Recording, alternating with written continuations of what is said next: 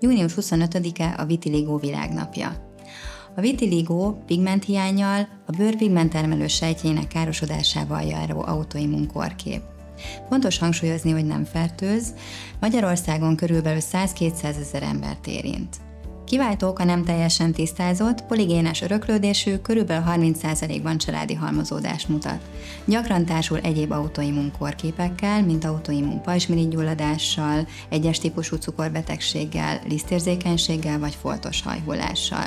A bőrön fehér depigmentált foltok keletkeznek gyakran szimmetrikusan, ezek jellemzően szabálytalanok, és a bőrön kívül a nyálkahártyán, a szőrzeten és a hajan is megjelenhetnek. Különböző klinikai típusai ismertek, megkülönböztetünk lokalizált, generalizált, ezen belül úgynevezett akrofaciális formát, ami elsősorban az arcon, illetve a kézfejeken jelentkezik, valamint a vulgáris típust, ami a törzsön, hajlatokban dominál.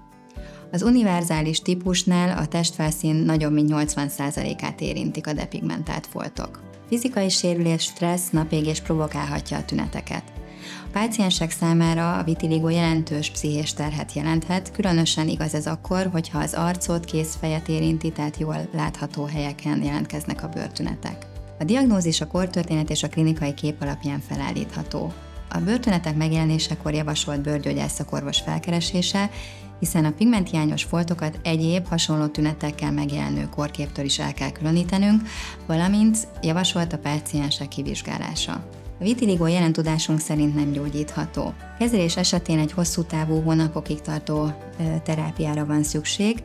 Alkalmazhatunk kiterjedéstől és klinikai típustól függően helyi vagy szájon átszedett gyulladás csökkentő készítményeket, szűkspektrumú UVB kezelést, vagy helyi immunmoduláns terápiát. Lézeres terápia is hatékony lehet a vitiligo esetében. Kiskiterjedősi limitált formáknál a sebészi eljárás is felmerül. Az univerzális, csak nem a teljes bőrfelszínt érintő változat esetén javasolt a megmaradt pigmenttartalom csökkentése különböző fehérítő és lézeres eljárások segítségével.